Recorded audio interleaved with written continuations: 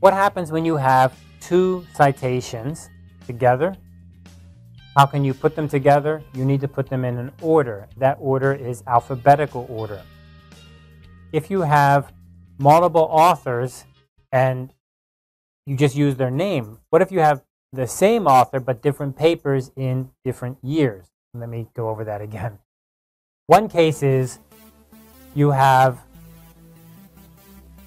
an idea, you write the idea, and this idea is not one person's idea, but many other people have researched this. So you've taken it from multiple papers, so you have multiple different authors from different papers. How do you put them together? By alphabetical order of the first author's name. Right? What happens when you have one author that has many papers from different years and now you put them together in one citation. How do you order them? You order them by year, by the date. Let's take a look at an example.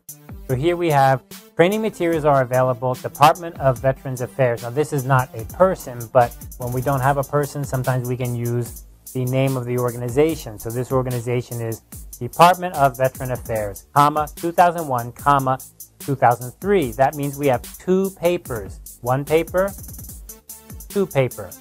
We have two research papers that we've drawn from, and we're going to use a comma and in, in year order by year.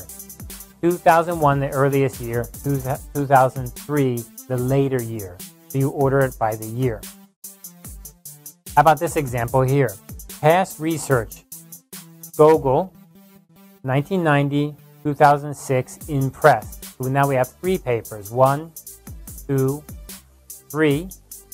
And we order them by the earliest date first. 1990, 2006 in press means it's at the publishers, but it's not finished yet. Same author, same date. What are we going to do then? This has actually happened sometimes. So here we have an author, Dewberry and Reed. Remember we use the ampersand here because it's inside the parentheses. Derryberry, Derryberry, what an interesting name, and Reed 2005, 2005. That is the same year. Those are the same authors. How can we put them together and the reader can actually find this?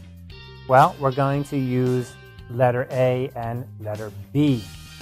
So this means that this paper is going to be the A paper, the second paper is going to be the B paper.